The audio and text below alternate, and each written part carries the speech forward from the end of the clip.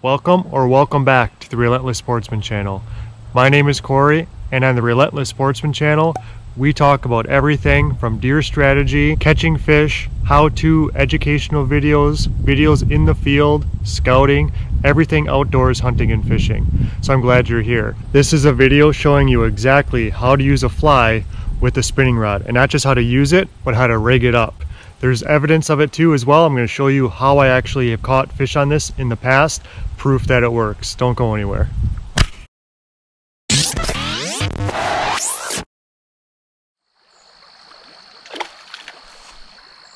Trout on the dry fly.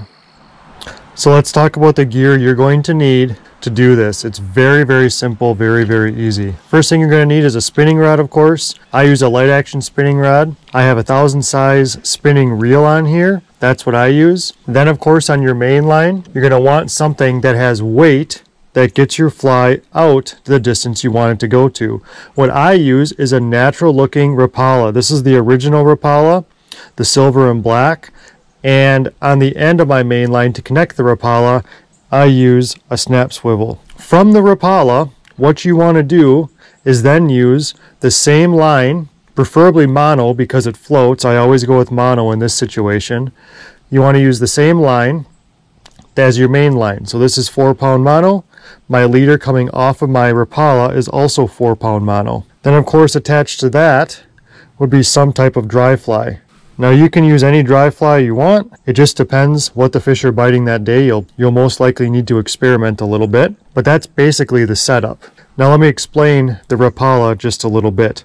I use a snap swivel on here for a couple of reasons. One, it attaches the Rapala really easily, and the fish aren't going for the Rapala anyways, so they're not going to see it.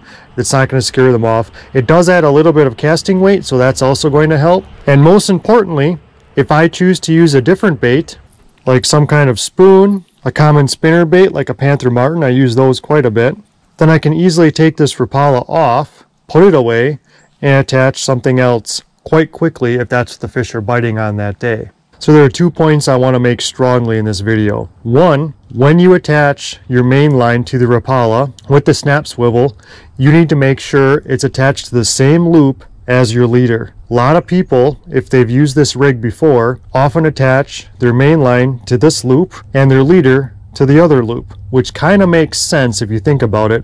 But what I found is you get far more line twists and the leader kind of wraps around your Rapala or your minnow bait.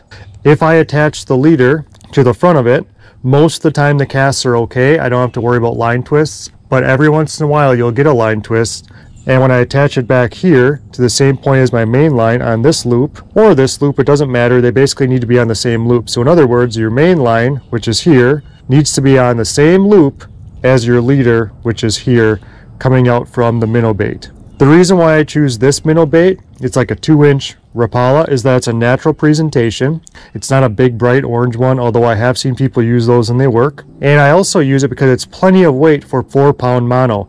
If you're fishing larger fish, like big browns in your creek or big steelhead or whatever, you're going to want to up your line, obviously, your reel and your spinning rod. I just use a light action spinning rod, a thousand pound spinning reel, four pound mono, and a little Rapala like this simply because a lot of the fish around here, the trout in particular, aren't big. The second point I want to make is that you need to take off your treble hooks. You can see here my treble hooks have been removed. You can remove those many ways. Uh, you can just cut them off or you can take the swivel off, the little O-ring on there, and remove them and use them again later for something else. The second thing you want to do is take off this bill, this lip on here that makes this crankbait have action in the water. It doesn't need to have action. You're not going to catch fish with this. This is just a device to use to get the bait out there far enough so you can cast in the correct area. What I use to take the lip or that bill off of that floating Rapala is just a really simple, cheap wire snips. It works really well for cutting around it.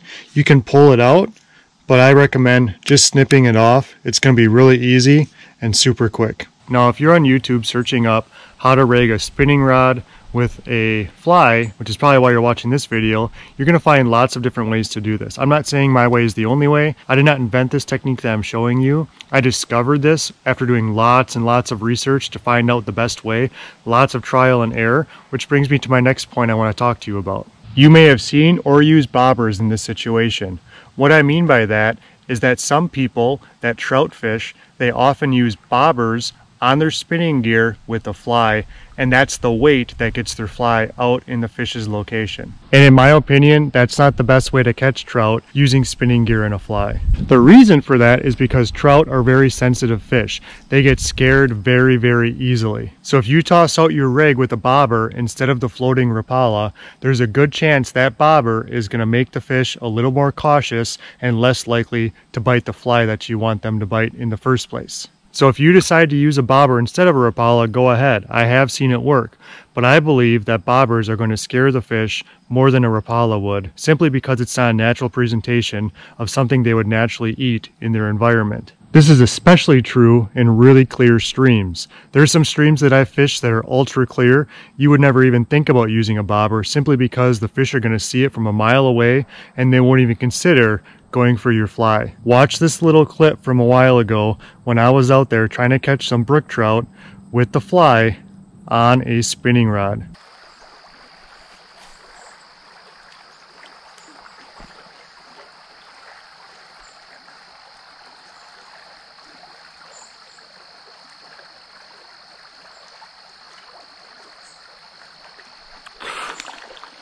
Here we go, you guys.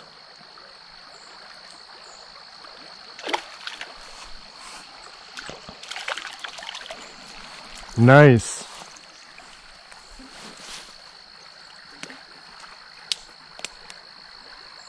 Trout on the dry fly. Let's let them go. See you later. Perfect. That was nice. Right there, just past the bridge. All right, that's it. That's really all you need to know about rigging this up. You see me catch a fish on it. You see me demonstrate the gear that you need and how to set it up. It's very simple and the best news is most anglers have small Rapalas in their tackle somewhere, whether you use them a lot or not. And if you don't use them, this is a good way to use it without having to throw it out. And if you do need to purchase one, the Rapala I showed you is super cheap. It's the most basic Rapala they make. Make sure it's a floating Rapala, obviously. Get that line and the leader on the same loop of the Rapala, either the front or the back. Get out there, catch some fish, try it out. Make sure you've got some good flies that the fish are going for that evening. And if you try it and it works, you're probably going to be hooked. So when the fish aren't going for spinners and spoons and those types of baits, you might want to consider putting on a fly on your spinning rod.